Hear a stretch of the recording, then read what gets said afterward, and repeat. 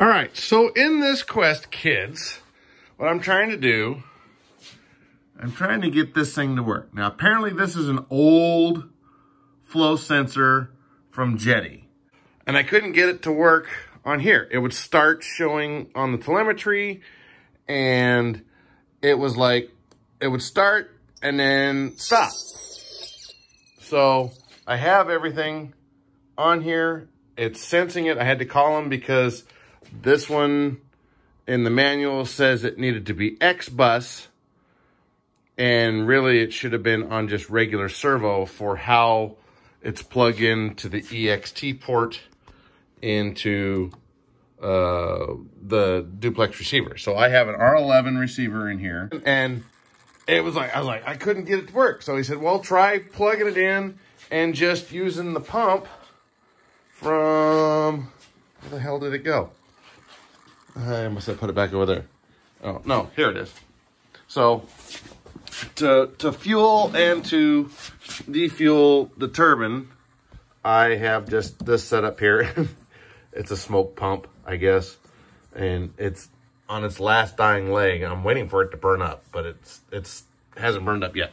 But anyway, so I put it in there, turned it on, and it actually had uh, close to 600 milliliters per minute flowing into just a cup just to see if it was working. So it is. So now I'm going to try to fire this thing up and see if I can get a flow out of it. You know, these Starwoods, they don't flow a whole lot. They're supposed to be anywhere from 100 to 140 milliliters per minute. We'll see. Consumption is 140 milliliters average up to 178 high power levels. So this should be, you know, 140-ish, somewhere in there. It should sense it. It says it goes from 20 to 800 milliliters per minute on this old M-Flow TEX flow sensor. But the last time I tried it, it wasn't getting anything through. The turbine was running, but it's just, it wasn't showing anything on here. So I'm going to try it up again now that I've flow tested it and it flowed through the thing. I'm going to see if it works.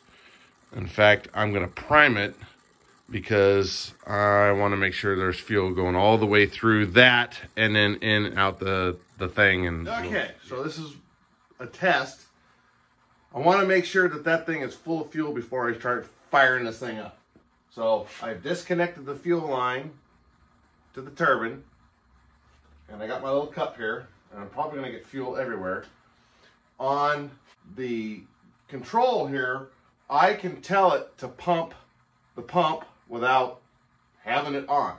So I'm going to make sure that it is flowing, which it is, but I need to get it, there goes the fuel through the thing, and it's saying 56 milliliters, even though it hasn't come out yet. It's like I'm priming it. So now I'm getting 72 milliliters, 73 out the end.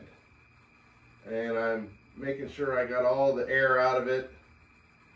And maybe that was my problem from before, is maybe I had a bubble of air in it or something and it wasn't reading it. If I could hold this thing here, I could show it. But we're gonna run the turbine and do it that way instead. Okay, we're ready to fire the turbine and we'll see from there. Yeah, this is fun. okay, and the other test is to see if my bottle is actually holding gas like it should. I think it is, but you never know. It was laying pretty flat. It was laying as flat as this. So I kicked it up to a little bit above 45 degrees. So there's the thing. We're going to go through this and see if we can't get this thing to fire off. You go here. And now we'll see if it held gas or not. Oh, it almost held gas. It might fire. It might fire. It might fire. Probably not. Nope did not gonna fire. it almost had some gas left in it from the thing. And if this says bad P, yep, it sure does. Bad P means it's not enough gas. So I fill my gas up. And I can almost do it with one hand. Almost. Not quite. There we go. You can see it going into the gas bubbles and all that good stuff. And that should do it. Again. And put the gas in it. And let's see if we can get this to go. So there's one flip.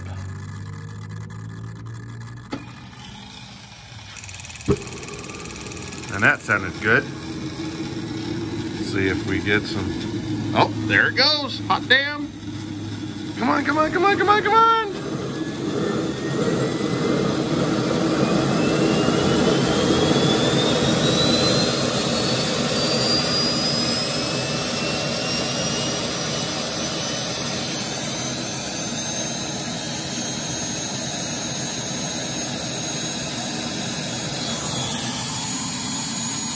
Bird idle. Sweetness. Now, I'm just going to make sure that that tail rotor's at neutral. I'm actually going to put this down to do this. And we're going to get up to, we're going to get up to speed. Okay, up. 100%. We're going to see what it does.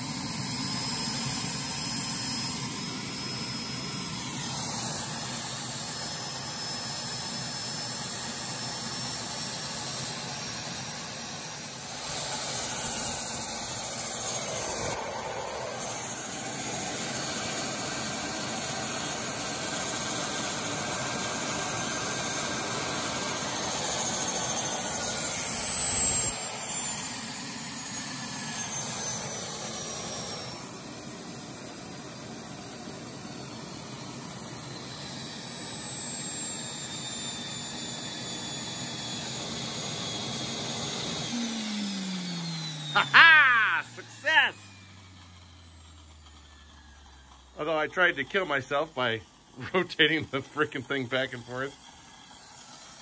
So, it actually does work. I got it to work. So there must have been an air bubble in the first time I tried doing it. But uh, now we're going through our cool down.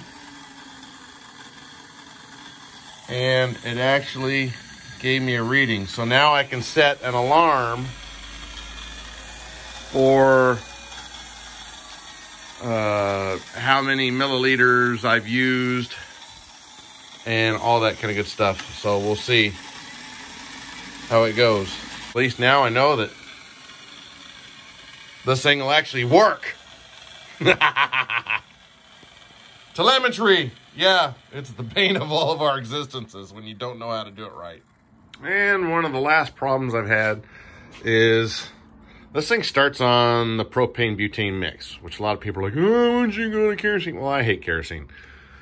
Besides, it takes and you got to put a big old honking thing out here and whatnot, and that would get right into my scale freaking, you know, air intake. So I didn't want that. I like propane. But I was having problems, and I've, I've had it for years, and it was positioned like this. And I get one, maybe two starts out of it. Well, reading the manual, I, th I think I talked about it before, it needs to be vertical plus or minus 45. Well, I raised it up to like this, and now damn thing won't hardly start at all. So I fired it up. I filled it, made sure it was full. It fired, and and then I let it.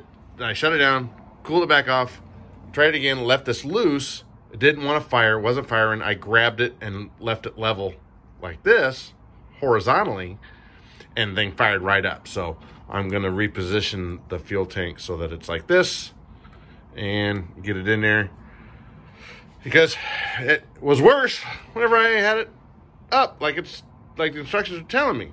Just put it down like that, fucking fired right up.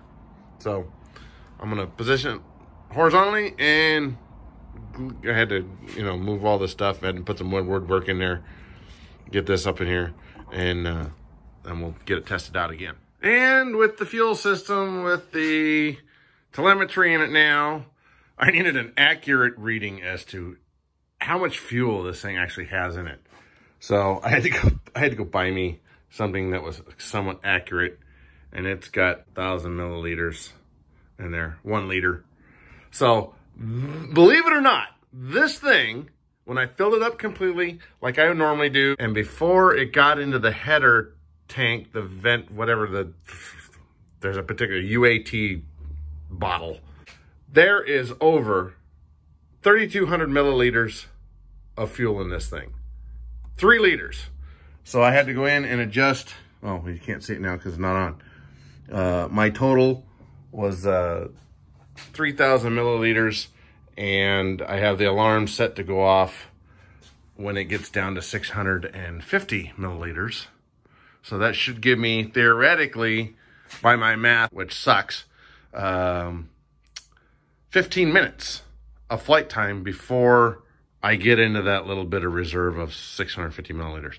That little bit, running at the highest that I saw running today, which was 190 milliliters per minute, which was me kind of going up and kind of goosing it a little bit, not a lot,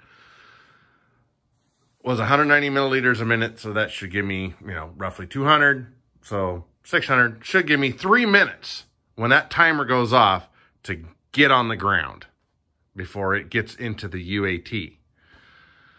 So there we go. I am accurately measured and timered and millilitered and all that kind of good stuff. So I think I'm done. There, I got out and I built something, sort of.